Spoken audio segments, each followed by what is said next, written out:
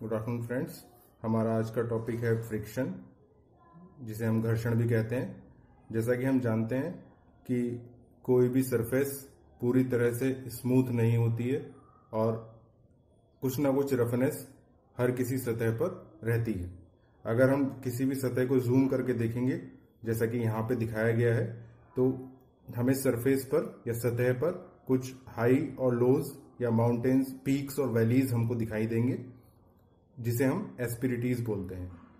जब दो सतह एक दूसरे पर के संपर्क में आती हैं तो ये पीक्स एंड वैलीज एक दूसरे में फंस जाती है, जिसे हम इंटरलॉकिंग बोलते हैं। ऐसी अवस्था में जब हम किसी भी वस्तु को चलाना या गति प्रदान करना चाहते हैं और उस पर बल लगाते हैं तो इस इंटरलॉकिंग की वजह से एक बल उत्पन्न होता है जो इस मूवमेंट का या गति का विरोध करता है। इस बल को हम बोलते हैं फ्रिक्शन इसे एफ़ से दर्शाया जाता है और इसे फ्रिक्शन या फोर्स ऑफ़ फ्रिक्शन कहते हैं। फ्रिक्शन दो प्रकार के होते हैं। पहला है स्टैटिक फ्रिक्शन और दूसरा है डायनेमिक फ्रिक्शन स्टैटिक फ्रिक्शन जब हमारी जो वस्तु या बॉडी है, वह स्थिर है या गति नहीं कर रही है तो उस अवस्था में जो फ्रिक्शन लगता है या पैदा होता है, उसे हम कहते हैं स्टैटिक फ्रिक्शन डायनेमिक फ्रिक्शन जब यह वस्तु या कोई भी बॉडी गति कर रही है। उस अवस्था में जो फ्रिक्शन या घर्षण उत्पन्न होता है, उसे हम बोलते हैं डायनेमिक फ्रिक्शन। डायनेमिक फ्रिक्शन भी फिर से दो प्रकार का हो सकता है। पहला स्लाइडिंग फ्रिक्शन, दूसरा रोलिंग फ्रिक्शन। यदि दो वस्तुओं के बीच में सतह सतह से सतह का संपर्क है या सरफेस कांटेक्ट है तो वहाँ पे जो फ्रिक्शन लगेगा, उसे हम बोलते हैं स्लाइडिंग फ्रिक्शन और यदि दो बॉडी के बीच में एक लाइन कांटेक्ट या फिर पॉइंट कांटेक्ट है तो उस समय में जो फ्रिक्शन वहाँ पर लगेगा, उसे हम बोलते हैं रोलिंग फ्रिक्शन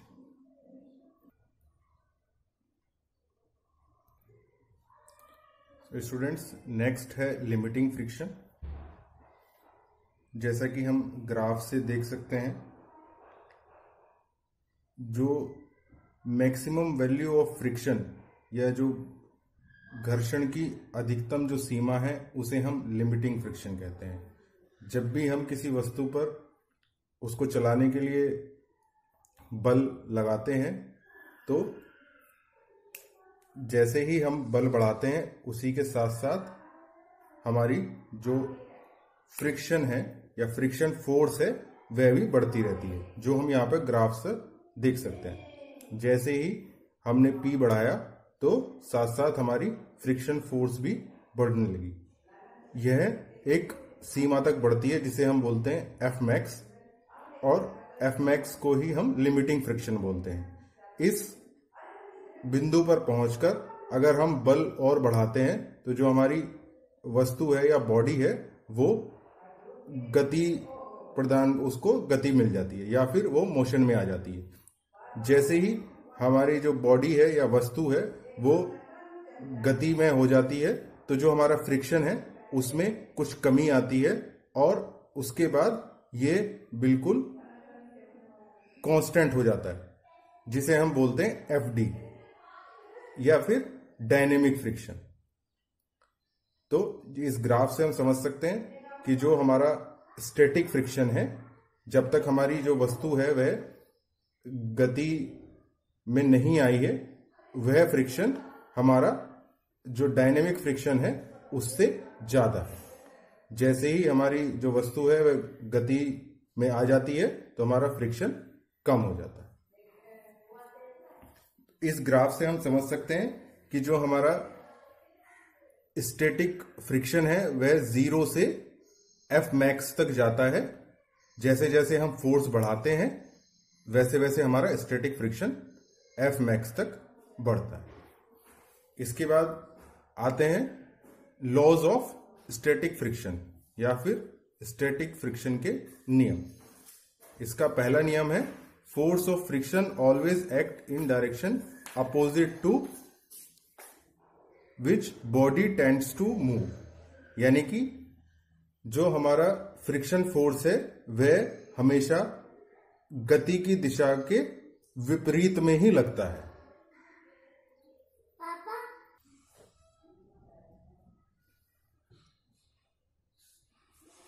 स्टैटिक फ्रिक्शन का दूसरा नियम है। The magnitude of the force of friction is exactly equal to the force that tends to move the body मतलब कि जो फ्रिक्शन है वह हमारी जो अप्लाइड फोर्स है, या हम जो बल लगा रहे हैं वस्तु को चलाने के लिए, उसके बराबर होता है। जैसे जैसे हम बल बढ़ाएँगे तो वैसे वैसे हमारा फोर्स ऑफ़ फ्रिक्शन बढ़ेगा, जैसा कि हमने पीछे ग्राफ में देखा था।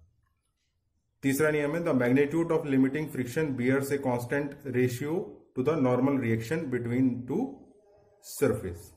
So जो फ्रिक्शन है वह जो हमारी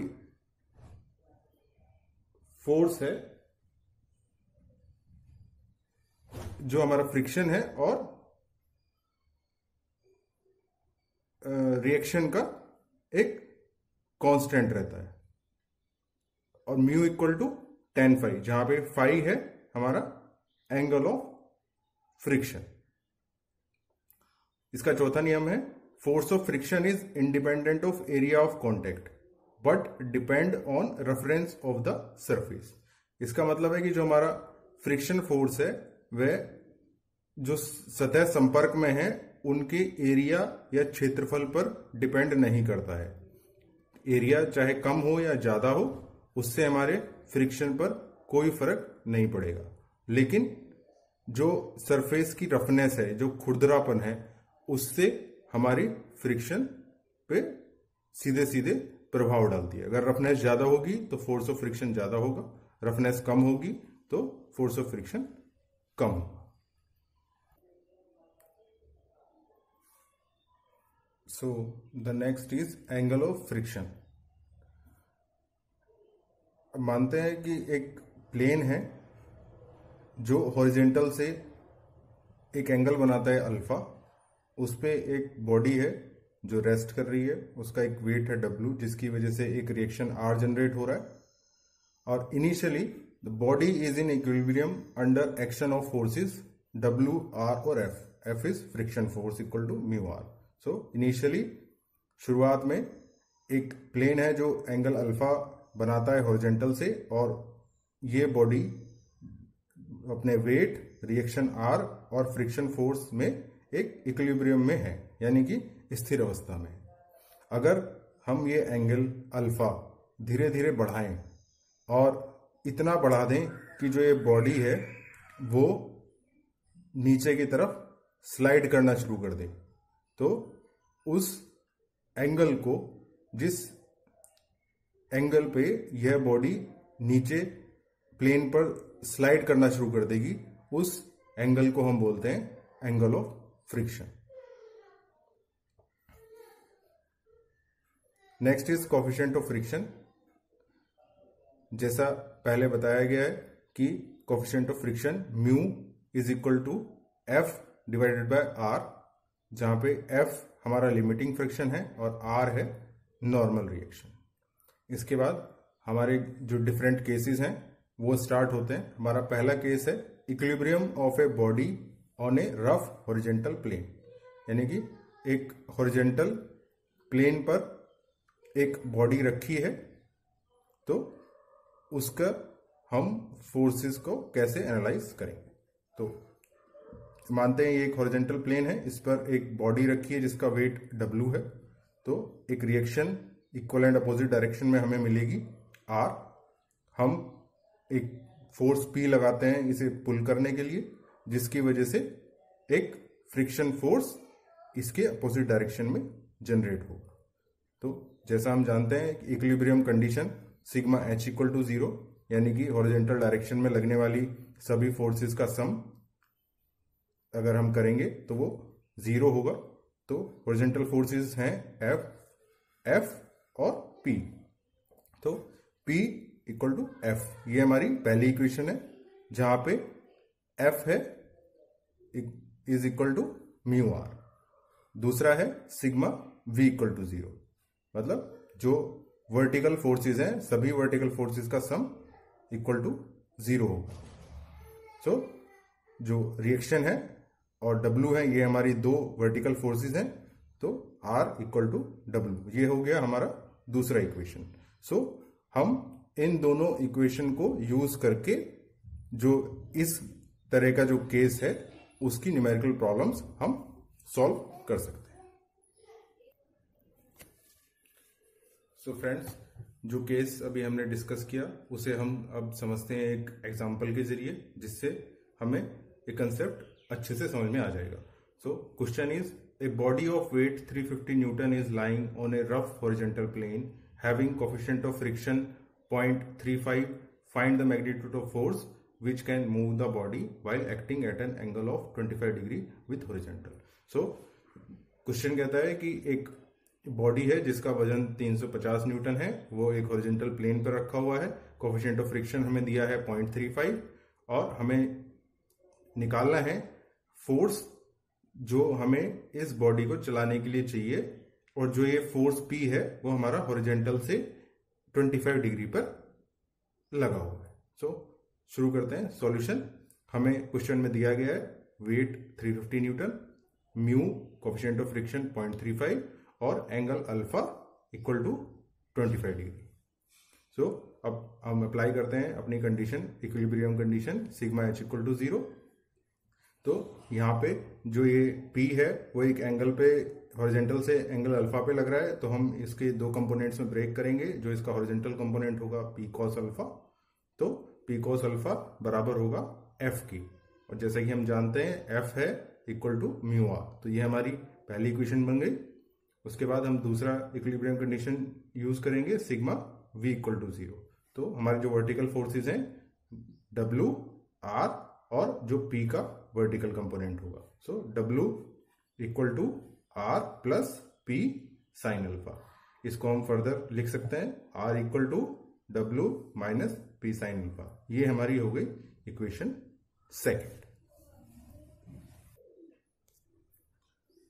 so friends now using equation one and two दोनों इक्वेशन को एक साथ लाते हुए P इंटू कॉस अल्फ़ा की value 25 degree equal to mu, हमने यहाँ पे आर की वैल्यू डाल दी है W minus P into sine twenty five. Cos twenty five की वैल्यू और व्यू म्यू डब्ल्यू और इन सब की वैल्यूज़ हमने रख दी और इसको सॉल्व करने पर हमें फाइनल वैल्यू मिल जाएगी P equal to one one six point two zero. इसी के साथ फ्रेंड्स, इस वीडियो में हम जो टॉपिक हैं वो यहीं पे रोकते हैं। आगे के टॉपिक नेक्स्ट वीडियो में कवर किए जाएँगे। सो so, अगर आपको वीडियो पसंद आई तो आप इसको सब्सक्राइब करिए। Thank you